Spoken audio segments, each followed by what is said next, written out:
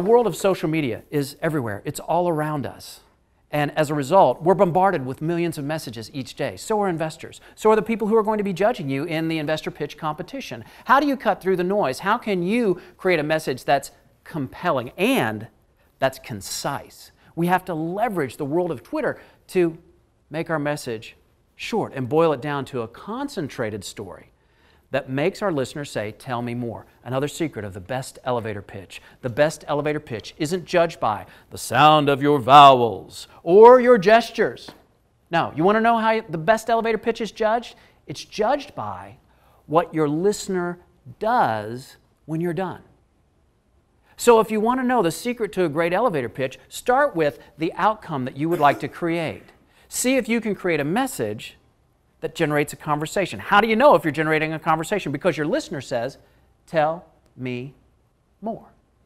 In some form or fashion. Tell me more. Tell me more about your idea. Because it's a simple fact. You can't tell your life story in a two minute elevator pitch. You cannot get the story from birth up till yesterday in two minutes or less. So don't even try. Try to create a compelling conversation that, that leads to the dialogue you want to have. Think about what investors really want because I'll tell you something else. Another secret to the best elevator pitch. The best elevator pitch starts with what your listener is thinking.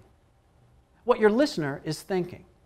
You know, we have more ways than ever to connect, but the challenge of our time is to create that real connection, to find common ground with the investors on the other side of the table because when you find common ground, then you can create uncommon results. So, how do we make the connections that matter? Well, we have to start with what investors are thinking. So, what are investors thinking? When they hear your pitch, what are they looking for? Are they looking for the money? How much money? What's the payout?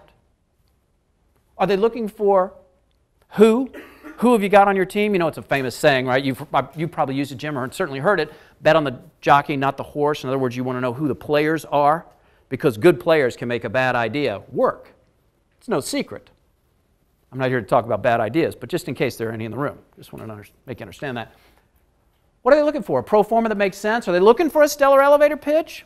Or are they looking for something more? The best elevator pitch starts with what your listener is thinking. And if you're in front of investors that have high net worth, in other words, if they've got more than $5 million in working capital, the fact that your business plan shows a million dollar payout in year three isn't really going to impact that individual's lifestyle. It's not going to change the car that he's driving. It's not going to make him put a new fence in his backyard. So, what if it's not about the money?